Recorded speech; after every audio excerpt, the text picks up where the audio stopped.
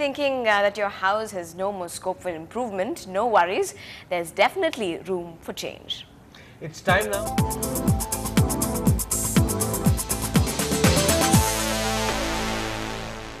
It's time now to liven your interiors with a perfect mix of black and white with Maya, Manoj and our reporter Zoya Thomas. There's definitely room for change.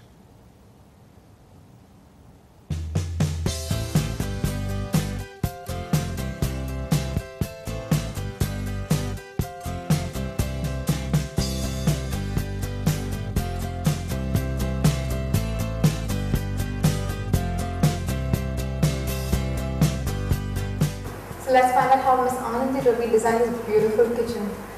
Uh, Ms. Anandi, can you tell us what really you kept in mind when you designed this kitchen? Um, my client uh, Jaya and uh, Kumar, uh, they were very clear about wanting uh, an open kitchen. Um, in it, earlier, it used to be uh, covered with a, a door opening, and while we started uh, this project where we had to renovate the kitchen completely, uh, I had that in mind.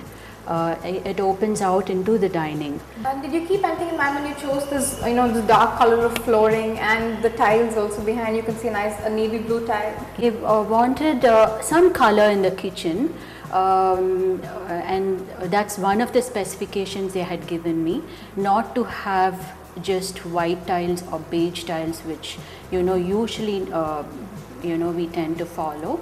Um, so we went in for. I suggested a nice blue floor, and uh, they were very receptive to it. And luckily, we found the same wall tiles. These are four by four wall tiles that we have used, um, which gives it a break. And, uh, generally, a kitchen is some place which is, I think, one of the most used uh, rooms in the house. That's Kid, your cooks come in, people come in, you eat in the kitchen, you cook in the kitchen.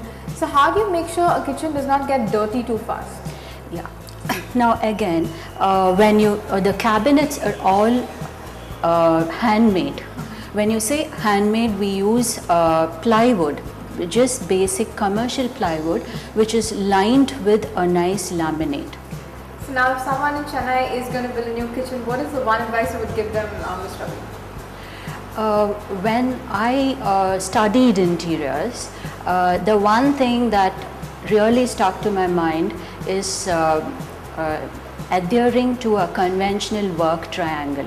When you say when you say a work triangle, it is the movement of the person who is using the kitchen that is from a point A that would be storage to point B which would be the preparation area like if say you're uh, getting the vegetables out, out of the fridge you wash them that's where the preparation happens cutting and everything preparation and then cooking so you uh, i think it's very important to maintain that work triangle Okay.